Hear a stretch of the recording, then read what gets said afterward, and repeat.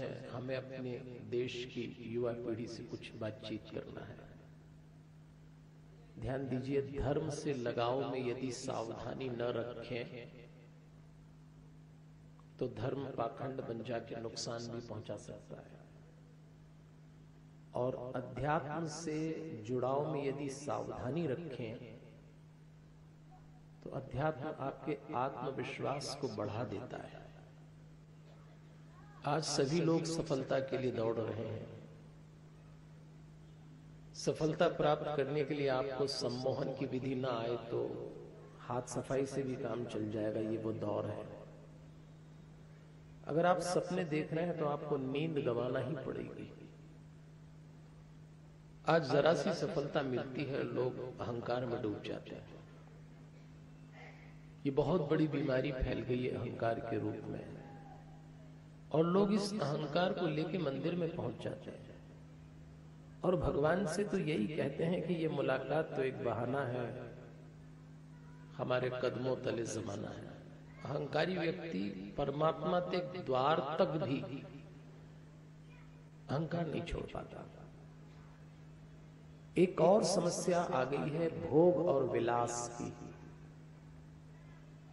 आज युवाओं की जीवन शैली में कुछ भोग, कुछ विलास ऐसे आ गए कि वो मानने को तैयार नहीं है कि ये भोग विलास है। वो तो इसको जीवन शैली का हिस्सा मानते हैं। काम पीड़ित व्यक्ति अपनी देह से बाहों का काम लेने लगता है। ये भोग विलास एक दिन आपको कितना नुकसान पहुंचाएँगे? आइए इस सब पे संयुक्त रूप से थोड़ा चिंतन कर लें। ये सब तो आप जानते ही हैं कि हम अलग अलग शहरों में अलग अलग तिथियों पे महापाठ कर रहे हैं। रामनवमी पे रायपुर से, राखी के एक दिन पहले इंदौर से, दशहरे के एक दिन पहले जयपुर से, फिर नव संवत्सर की पूर्व संध्या पर कलकत्ता से।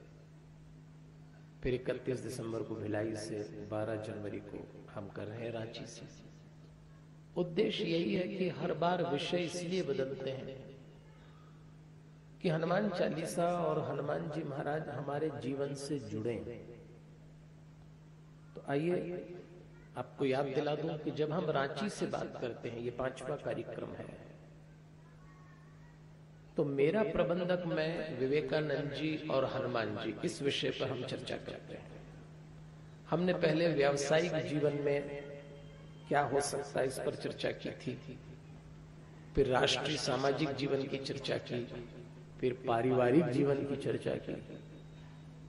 इस बार हम थोड़ा निजी जीवन की चर्चा करेंगे, पर्सनल लाइफ। हमें अपने निजी जीवन की चिंता इसलिए भी पालना है कि हम सार्वजनिक रूप से बहुत भद्र, सभ्य और कुलीन रहते भी हैं और दिखते भी हैं। लेकिन उस समय हमारे निजी रूप से क्या चल रहा होता है, ये दो ही लोग जानते हैं, हम और हमारा भगवान। इसलिए देवियों और सज्जनों, हमें अपने निजी जीवन को पवित्र बनाना ही होगा। और निजी जीवन का संबंध तीन बातों से है।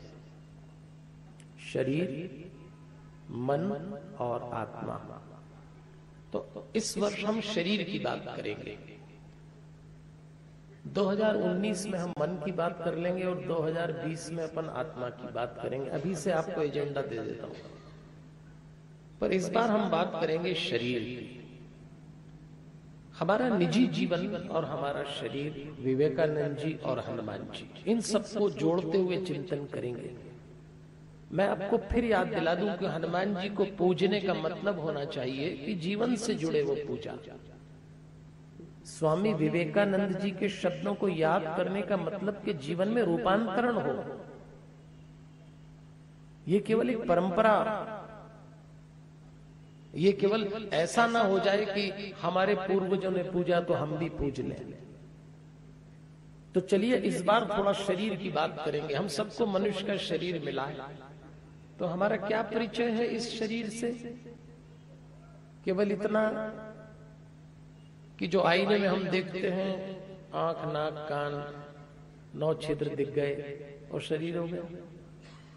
क्या यही मतलब है शरीर का कि आपने परिश्रम कर लिया, भोग विलास कर लिया, खा लिया, पी लिया, सो गए और एक दिन खत्म हो गए? खत्म होने की तो बात कोई सोचता ही नहीं क्योंकि डरता है। केवल ये मतलब नहीं है शरीर का।